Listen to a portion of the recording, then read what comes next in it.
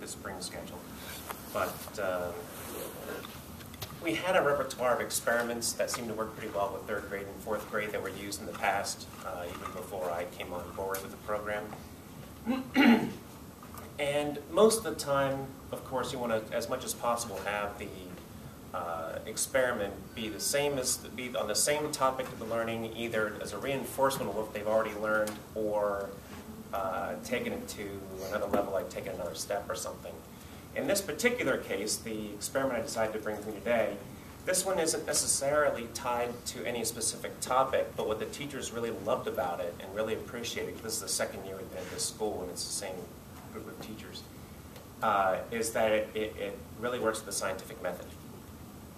And in general, these teachers really appreciate any science stuff that, that we can do because the elementary school kids are not uh, tested on their science requirements uh, because they have so much testing. Young kids, it's a lot of testing, so the state only tests on pretty much the three R's pretty much. They don't get into the other sciences and things, and so the teachers really appreciate uh, some way in which that, you know, people can come in and, and emphasize the science as best they can because if you don't get tested on at the end of the year, it sometimes gives that impression that it may not seem as important. And so our influence has been, in, uh, the teachers feel our influence has been invaluable uh, for that. So this ex uh, particular experiment, uh, the clean water experiment, is, again, the emphasis is a scientific method where we have a group of materials um, we have larger rocks, smaller pebbles, and some sand and cotton balls. And what we do is we take, very scientifically and carefully, take a two liter soda bottle, flip it over, and we use the plastic ring that's here. This is set up ahead of time, which is, you know, because you can't have it all, and we only have an hour. Uh, just have some uh, piece of, uh, uh just a Brillo pad that was cut up and, and put over the end to keep stuff in there. Sometimes we use the cotton balls as a fourth ingredient, sometimes we don't. It just kind of depends on uh, how things go or what, you know, how we want to go about it. Because uh, there's so many variables with this.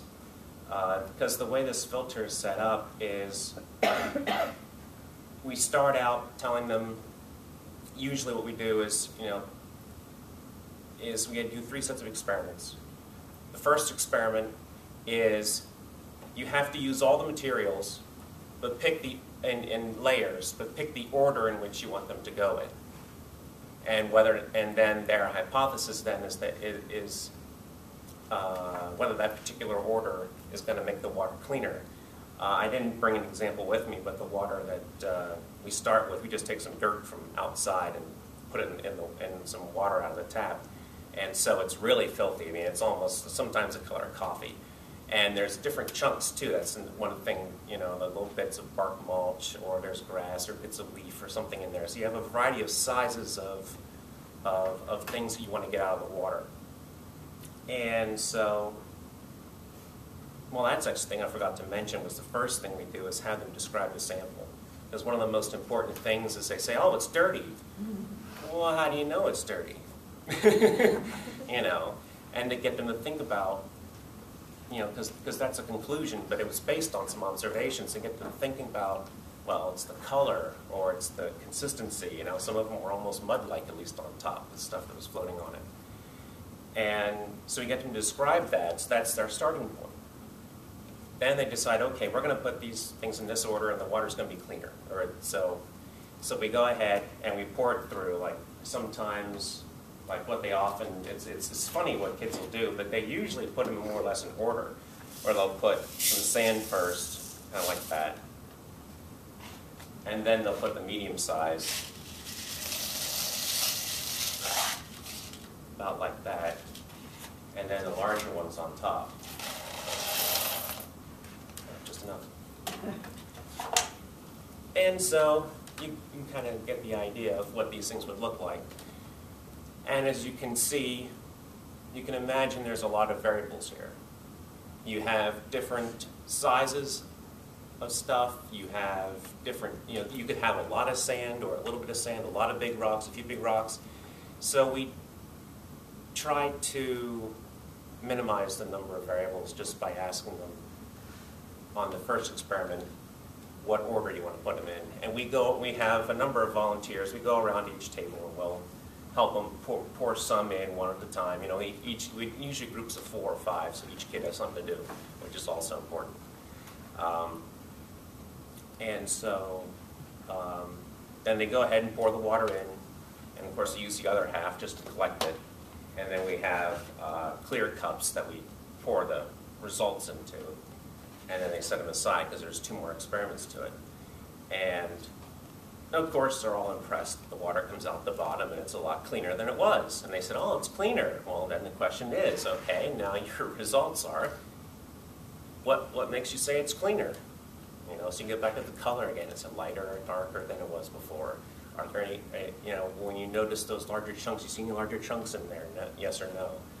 You know, so it gives them an idea of what filtering does in particular. And generally speaking, then, just getting their observations. You, you had something, you tested it, now we get half. So then you set that aside, and then the next experiment, and this can go any number of ways, what we decided to do this last time was ask them to keep the same order but not use one of them.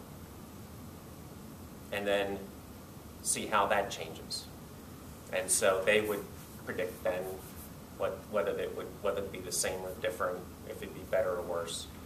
And then, you know, what we would, well, we volunteers would take these filters, dump them out, and uh, had more material for them, and then they would pick what they wanted. And so then they would, in this example, they would just have two layers then. They pour the water through, we give them more dirty water, plenty of dirt, plenty of water. Um, and they do come out different. They often do come out different. There, there's a noticeable shade, different shade in the color, you know. And they say, "Oh, it's different," or "That's cleaner," or "That's or that's dirtier." And it's like, well, how do you know? you know? So to describe the color, describe it in bigger chunks, that sort of thing, and go down through uh, a description of it, and then. So that's the results part. And I said, okay. So then we say, okay, well, you can use whatever order you want. You can use only one material. You can use all three. Whatever you want to do. Make a filter that you think is going to do better than these two experiments, based on what we learned here. And it is really amazing what they come up with. Uh, some of them on their third experiment, they came out cleaner. Some of them didn't. Um, and then the important thing, which is often left out, and uh, Kathy uh, works with me, uh, she uh, really, really uh, uh, reaches the kids pretty well. And one thing she mentioned about the scientific methods often left out is, is to share your results. So then once each table, let's say like six tables of four kids each, each table then has their three ones. You say, well, which one was your best? You know, and what'd you get? And say, well, what, what filter did you use? Well, the one that came out the best, they just used a huge amount of sand. um, you know, and, and another group that uh, where theirs was where their third experiment was the cleanest also had a significant amount of sand, and so you can at least preliminary draw a conclusion from your results of your experimentation. Um, but like I said, there's a lot of variables here, but you know, you just have to pick something and run with it. And um, so it, it, seems to work really well. The teachers really appreciate it. Uh, the students enjoy it. Uh, they, they, and it's, it, it is some, it's amazing. They, they do come up with some neat things. It works.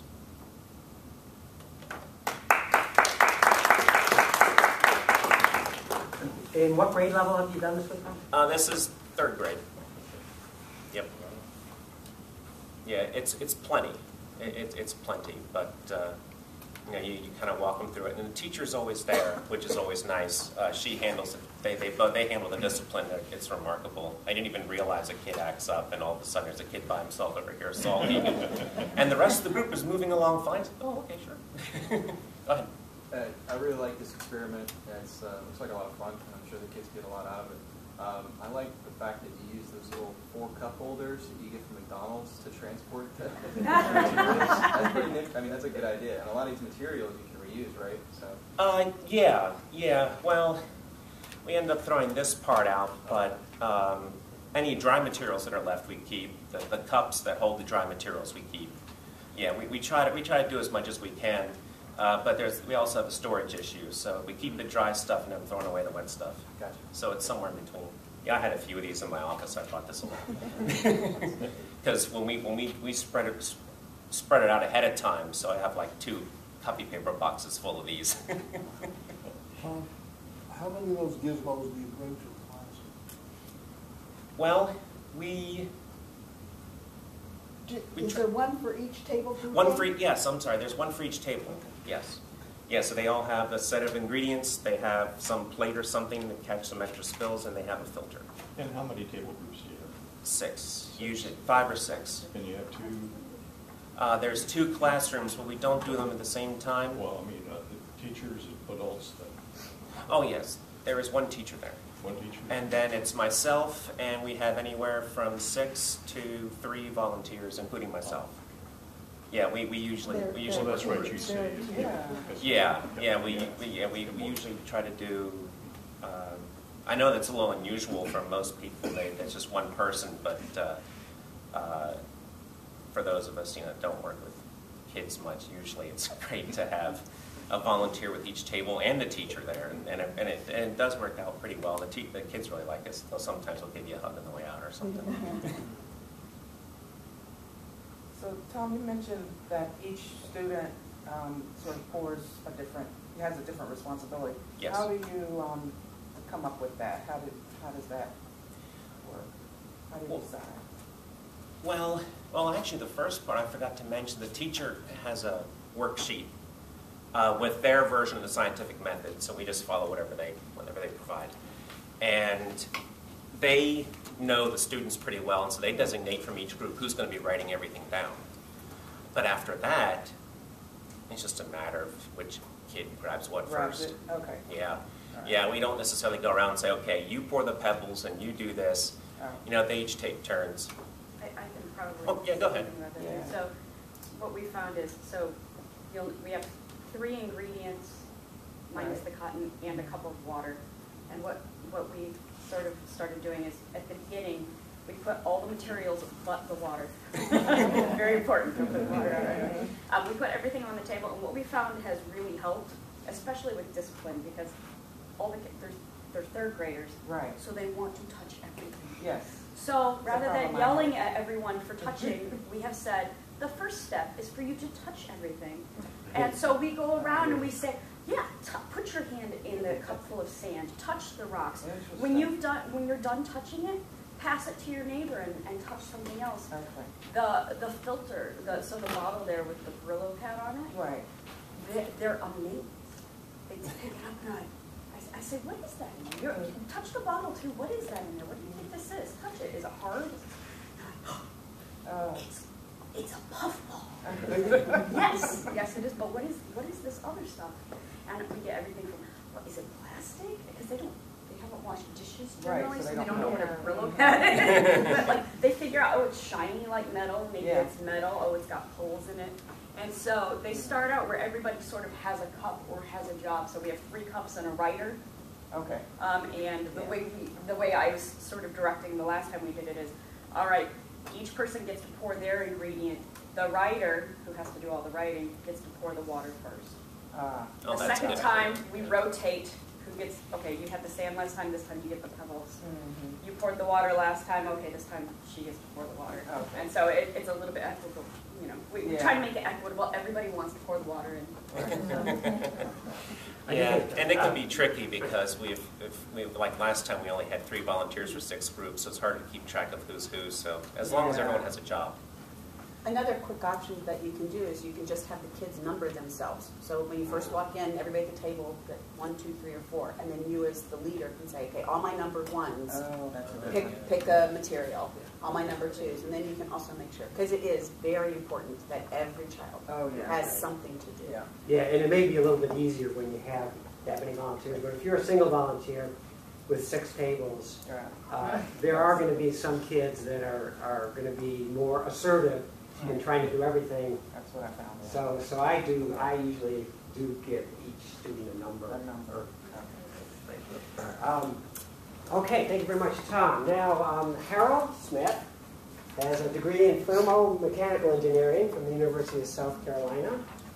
Uh, did a stint in the naval aviation in Pensacola, Florida after college. Moved back to Virginia to work at the U.S. Patent and Trade Office for the next 34 years. So we have some colleagues here that can see what happens after we graduate. Um, he's an instrument-rated private pilot, uh, though not currently active. Spends lots of time on long-distance cruises on sailing and power vessels. Tough business. And fourth year volunteering with Reset, he's been at Barrett and Kellett Camelot uh, Elementary Schools in Virginia. So, Harold? So, I guess we need. Yeah, let's do Yeah. that so I uh, get you videoed with your PowerPoint. So,